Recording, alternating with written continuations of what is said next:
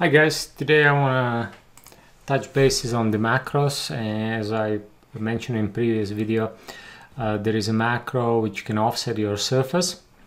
So uh, I have created a quick surface here on the plan view. You can see it's just a six points.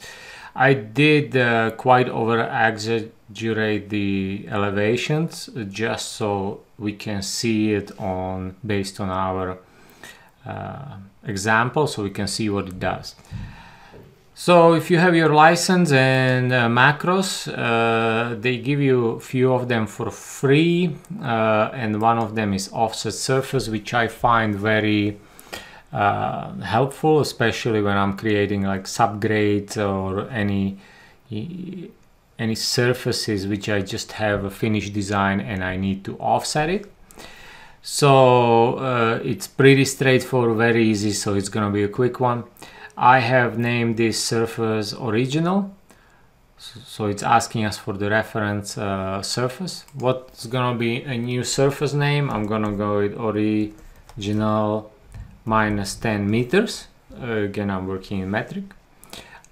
It's gonna ask us for the vertical so obviously positive is above negative is below so I'm gonna go negative 10 meters and you can also apply a clipping boundary. So if you have a large scale of surface and you need to just clip a little portion and lower that thinking let's say you have different kinds of stripping and you need to show it and uh, you don't have a takeoff module maybe that would be a case. So once I hit OK, look at that, you see it created a surface right away below it. Here on the right hand side I have a 3D view beautiful eh? So it was really quick and easy really straightforward just the three parameters you need to end and you have a beautiful surface which is uh, called original minus 10 and it's 10 meters below the original one. So I believe if we can measure it you see there you go minus 10 meters. A very great uh, macro, uh, really useful.